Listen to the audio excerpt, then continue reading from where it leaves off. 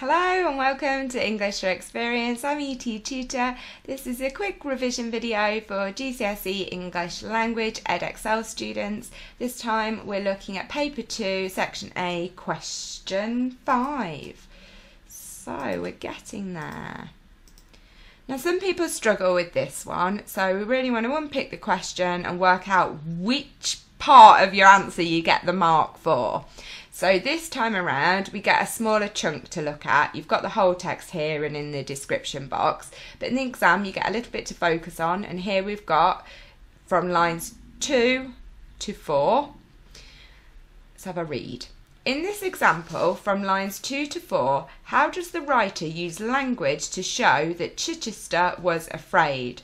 So we're looking at how something is achieved through language to show a particular thing. So this time his fear.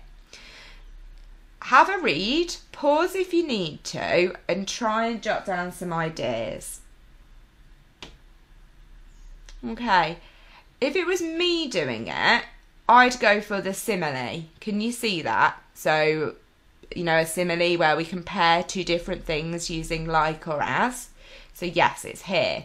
The white breakers showed in the blackness like monstrous beasts charging down on the yacht.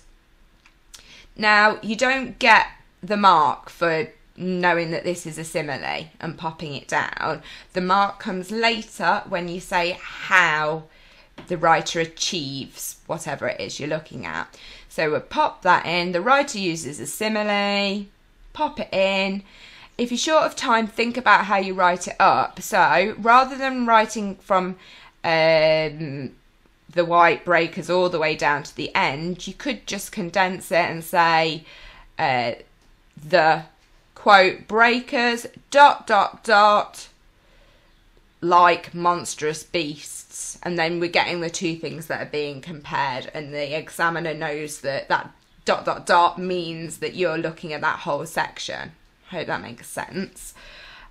So get that in, and then how?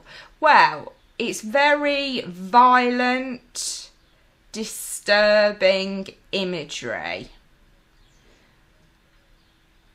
So, what does it do when we are given this kind of imagery? It appeals to our senses. So, this time it's appealing to the sense of sight, but it's also an attempt to gain empathy, which stresses again how scared he is.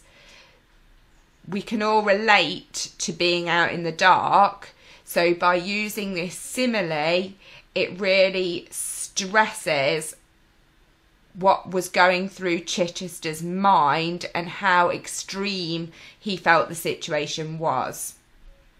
Okay, so try to write that up as succinctly as you can or have a go at your own example. There's quite a few things in here. Think about colour, that's something you might comment on. Think about the adjectives. Think about symbolism, so that colour symbolism.